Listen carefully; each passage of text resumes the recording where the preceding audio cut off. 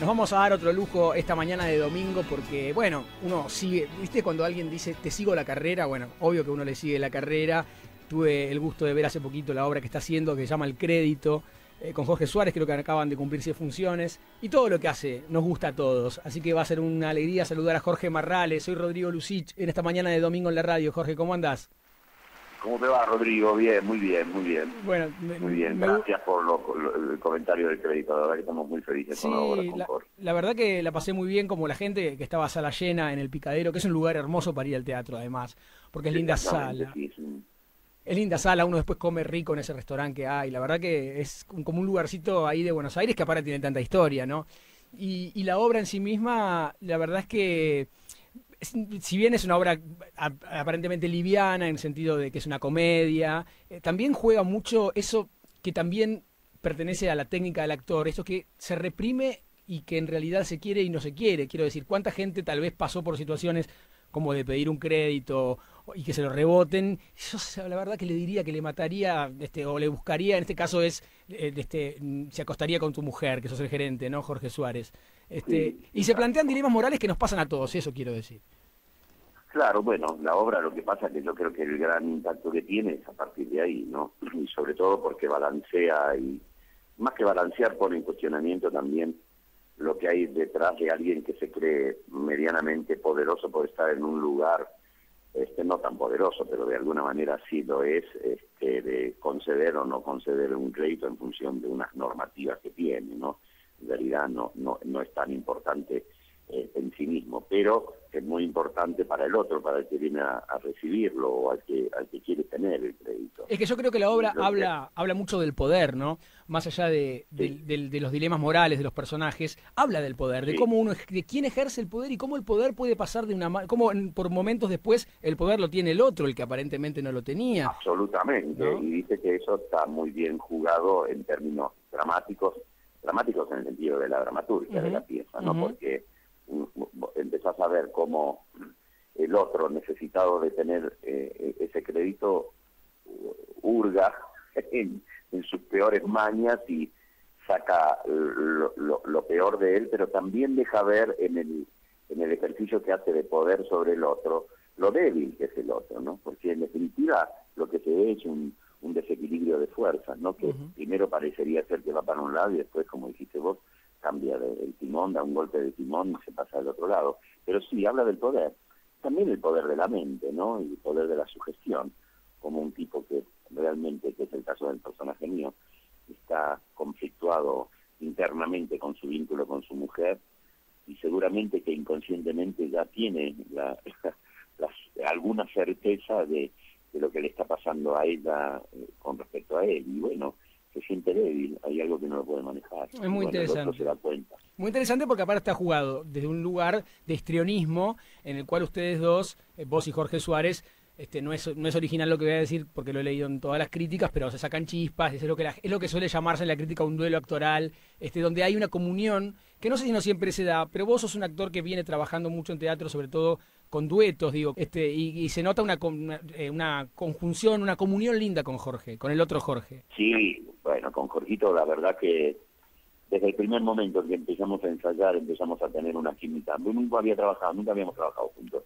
Y la verdad que fue un descubrimiento mutuo, feliz, porque viste lo, vos viste la pieza y viste lo que sucede ahí. Y es, si eso no se da con comunión con el otro, es, es imposible. Esa pieza sería imposible de hacer si no tenés ese contacto tan, tan fluido. Y además los dos salimos a jugar, ¿sabes?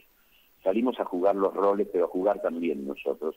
Aparece la parte más lúdica, tanto de Jorge como de la mía, ¿no? Y, y ponemos en, salen los chicos nuestros a, salir, a, sacarse chispas, es eso lo que sucede con la pieza, ¿no? Sale un poco el chico, Ha tocado una parte tanto de Jorge como la mía, yo hablo por mí, ¿no? Pero siento que estoy jugando con mi chico que tengo adentro y que por suerte todavía este, sigue chiquito, sigue chiquito en el sentido de que sigue en ese sentido un poco puro, ¿no?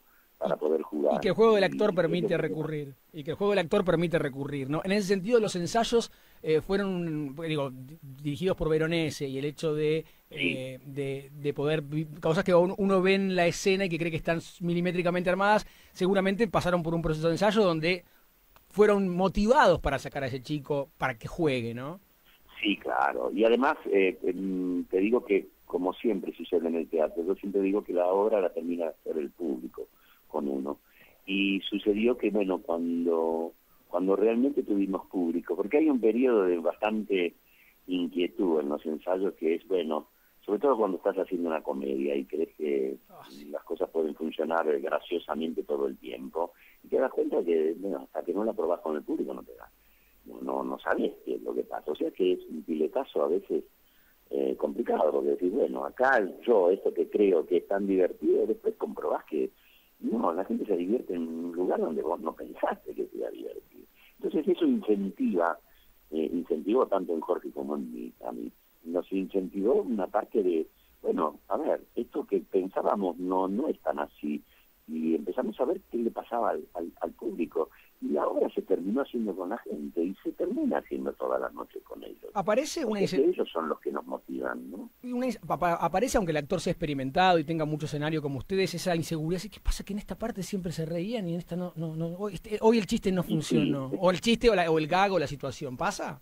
No, no, no, no, no. Uno, vos te das cuenta, vos te das cuenta de, viste que hay determinados, hay, distintos públicos, todas las noches tenés un público distinto, pero hay algunos que se parecen. Sí. Y hay otros que te sorprenden, hay públicos que son, por ejemplo, en esta pieza que vos viste eh, la respuesta que hay, eh, hay públicos que están más, más, más quietos, más, menos comunicativos, pero termina la función y aplauden de pie. Pero bueno, no se rieron eh, manifiestamente tan abiertamente como otros, pero bueno, les pasó por otro lugar y terminaron felices. Eh, bajás, eh, hablas con ellos porque te, o están comiendo ahí en el restaurante, o vos te vas a comer algo ahí y, y, te paran y dices, pero qué bárbaro, qué maravilla lo que hicieron. Y bueno, pero fueron durante la pizza, vos te planteas decir, pero qué está pasando, ¿no? Y cuando estás haciendo comedia llegás a pensar, claro. haciendo un ridículo. Claro, totalmente. Eh, por eso pregunto si aparece eso ahí, porque digo, ay, tierra, tierra, tierra tragame, ¿no? Por supuesto, sí, que se termine rápido, por favor. y aparte el teatro tiene esa devolución inmediata, como decís vos, que se completa con el público, y la tele tiene otro código, este, en el sentido que, bueno, La, devolución viene al día siguiente si te paran por la calle. Este, hace El otro día escuchaba eh, un reportaje que hiciste con Matías Martí, muy, muy lindo, muy con los chicos de, la ah, metro. muy lindo. Te, escuché porque con, con, detenimiento porque la verdad que la charla fue muy relajada, ellos crean también muy lindos climas. Este, y, y, te escuchaba una cosa muy simpática acerca de tu paso por vulnerables, cuando en un momento siendo el doctor Segura, el, el, doctor de, de, esas reuniones de grupo que fueron históricas en la tele y que gustaron, gustaron tanto, en un punto tus, terapeutas, vos un día te dijo, bueno, bueno, bueno, bueno, este, el terapeuta soy yo, como que estaba, te habías, no comido el personaje, pero que... sí, claro. Que, te, que realmente te había tomado un poco la vida, donde vos creías que eras el terapeuta de vos mismo. claro, es que fue, fue bárbaro, porque eh, se dio cuenta inmediatamente de lo que me estaba pasando a mí, digamos, que estaba haciendo como un desdoblamiento entre lo que soy yo como persona y un poco lo que estaba como... Eh, a ver, inconscientemente sería como una competencia con el otro, ¿no? Este, con el terapeuta. Con el verdadero. se dio cuenta, claro, con el verdadero. Entonces ahí se dio cuenta y puso freno de mano rápido, me di cuenta yo también, caí, frené, me estrellé contra el parabrisas y, bueno, volví. Pero sí, obvio, obvio, bueno, a mí particularmente el análisis es algo que me, me atrae muchísimo, me gusta mucho.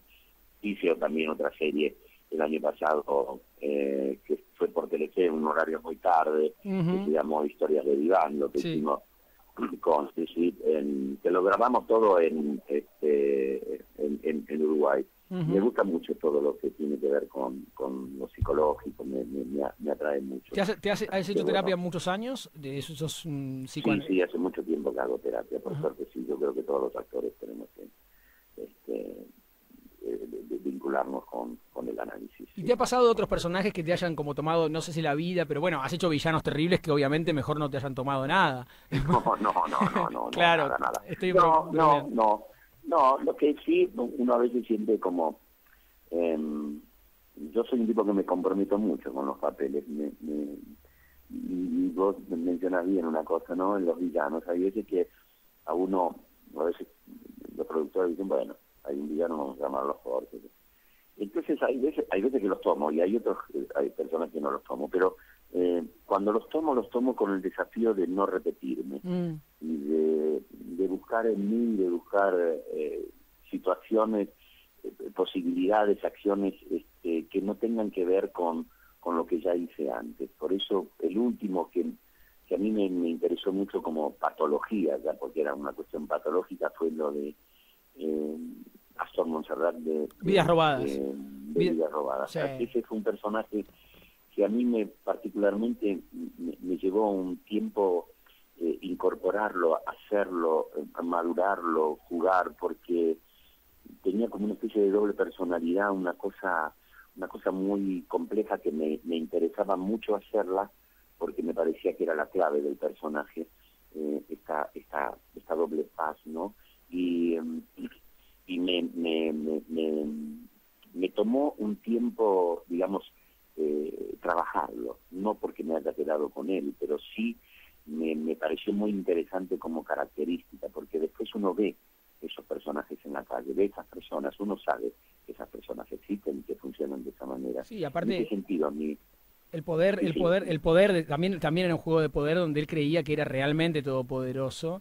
Este, a, uno, a uno le hizo acordar a, mucha gente este, y, sí, claro. y, ciertas, y ciertas acciones y situaciones también, pero era un personaje complejo eh, que, en el cual vos pudiste componer también con el tema de la tele que a veces permite, a veces no, al hacer una tira que funcionó, el hecho de poder ir construyendo, y, porque también es una conjunción, me imagino, con los autores, qué cosas del personaje van apareciendo. Ahí fue ahí fue muy bueno, fue muy bueno, Marcelo Camaño y de verdad fue un, un trabajo eh, fue un trabajo fantástico. Realmente había una escritura muy muy ajustada, sobre todo en la construcción de, este personaje. Yo la verdad que trabajé siempre muy bien apoyado por los libros y por la dirección. ¿eh? Fue un trabajo ahí realmente para mí muy recordable. Eh, bueno, y fíjate también lo que pasó, ¿no? Con la gente que es lo que uno a veces añora en términos de una televisión que se vincule con los temas que cruciales para nosotros, ¿no? A nosotros nos ha ido bien cuando hemos abordado esas temáticas. Este, eh, Montecristo fue otra. Este, eh, hay, hay cosas que me parece que hay tanto material en nuestra vida cotidiana que podríamos realmente trasplantarlo a la telenovela ¿eh? y no esperar que vengan de afuera esas telenovelas con, con esos contenidos, ¿no? Nosotros tenemos mucho material y ojalá que en ese sentido lo digo, ¿no? Eh, lo digo, que, que la tele pueda empezar a captar eh, esos espacios en donde la gente se siente muy identificada porque son cosas que suceden cotidianamente y hay mucho material para poder... Y eso no quita que tenga el gancho, el gancho que necesita el culebrón, digamos, porque justamente esos ejemplos que mencionás y otros también este, han tenido la posibilidad de abordar esos temas con absoluto compromiso y también con los este, cánones del culebrón y sus y sus respectivas este, columnas como el villano, este, la heroína, el héroe, etcétera. Es, ideal hacer este, la telenovela es ideal para eso porque tiene una cantidad de facetas que te permiten tocar muchas cosas y al mismo tiempo y sin embargo fíjate vos lo que pasaba con vidas robadas tocábamos temas centrales, centralísimos de lo que es el, fenómeno de la. Y el alcance además, porque vos fíjate que, que, lindo para un actor, digo, más allá que la gente te pueda ir a ver a un teatro si paga la entrada y está en Buenos Aires, o sea, haces una gira, este, y lo que puede pasar con el cine u otros ámbitos, digo, la popularidad, la llegada masiva para concientizar y para que personajes, hoy la gente sabe, cuando piensa en tu trabajo, que te hable de un doctor segura de vulnerables, de Astor Monserrat de Villarroa, esas cosas también para el actor son personajes que han marcado y que quedan en la memoria colectiva. Por supuesto que sí, además la gente que lo hace recordar. Yo, vos hablas de vulnerables, mirá que ya vulnerables nosotros lo hicimos en el año 98. Y es notable todavía gente que se cruza y que me decía todavía, viste que no estaba ni el vivir. claro. La gente que Tal cual. La gente que grababa. ¿De dónde lo grababas? ¿En el, VH, en el VHS lo grababa vulnerable. En el VHS. O sea que en VHS, y, y yo me acuerdo, de gente, por ejemplo, viajaba o iba a acompañar a alguien que viajaba a Ezeiza, gente que iba a viajar que me decía, nosotros dejamos eh, a un amigo para que nos grabe, porque vamos a estar 20 días afuera, que nos grabe vulnerable. La gente se iba pero hacía grabar sus programas para verlos después. El fenómeno de Vulnerable yo creo que no se repitió nunca más.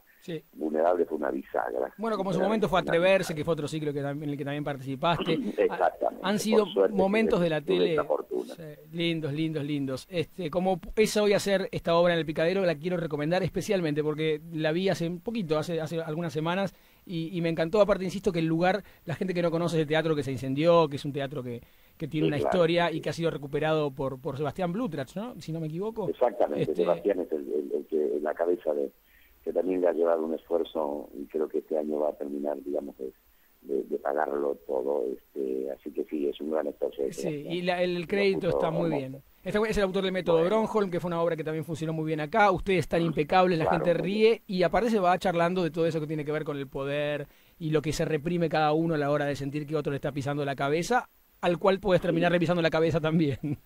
Exactamente, lo cual es una metáfora de que nunca estés tan seguro de que lo tenés todo, ¿no? Es cierto, es cierto, y a veces no tenés nada. Lo que sí tenemos mucho es alegría cuando hablamos con vos, así que como siempre es un gustazo, Jorge. ¿eh? Gracias, Rodrigo, te agradezco mucho la nota. ¿eh? Abrazo grande.